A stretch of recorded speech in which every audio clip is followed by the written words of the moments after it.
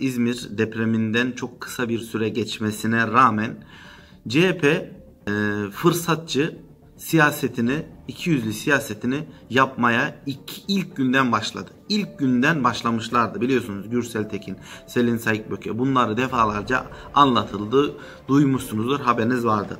Şimdi e, geçen Kemal Kılıçdaroğlu bir açıklama yapıyor.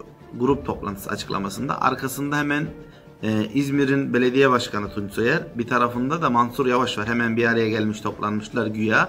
Basın toplantısı yapıyor. Arkasında kendilerine tabi belediye başkanları olarak onlar da elleri e, bağlı bir şekilde e, atalarını, liderlerinin arkasında destek. Neyse konumuzu uzatmayalım. Ben şunu demek istiyorum. Şimdi e, Kemal Kılıçdaroğlu anla, konuşurken şöyle söylüyor. İzmir'de yaşanmış olan deprem e, neticesinde diyor bütün Türkiye kenetlendi. Herkes e, yardımcı oldu. Çalışmalar yapıldı. E, ta olsunlar. Teşekkürler olsun. İzmir Belediyemiz canla başla mücadele verdi. Şöyle çalıştı. Böyle çalıştı. E, gece gündüz didinde uğraştı. Bütün e, yardımı dokunan sivil kuruluşların, toplumların, onların, bunların, şunların Allah razı olsun. Onlar hani iyiliklerinden ötürü teşekkür ederiz. Minnettarız falan filan ama sayıyor sayıyor. içinde ne Kızılay var, ne hükümet var, ne e, devleti destek olan e, diğer belediyeler var. Ne AFAD. AFAD'ı bir kere ağzına aldı. AFAD da çok çalışıyor diye. AFAD da hani orada mücadele gösteriyor diye, sergi sergiliyor diyor. Ne UMKE var, ne Deniz Feneri var. Orada yemek pişirenler, insanlara battaniye giyecek, içecek, orada hani çadır dağıtanlar hiçbirisi yok. Hiç kim çalıştı? Hep çalışmış e, İzmir Belediye Başkanı. İzmir Belediye'mize çok teşekkür ederiz. Canla başla çalıştı. Büyük bir mücadele sergiledi. Çok büyük e, başarıları imza attı. Çok teşekkür ederiz falan filan.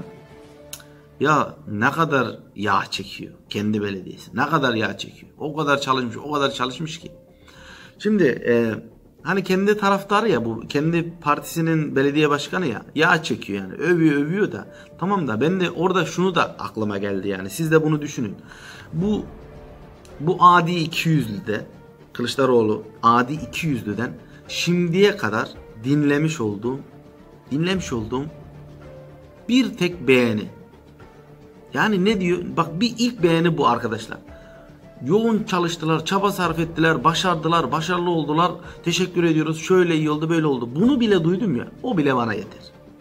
Ya CHP belediyesi olmaz önemli değil. Bu şerefsiz hainlerden, 200'lülerden başardı bir belediyenin birisi başardı dedi ya.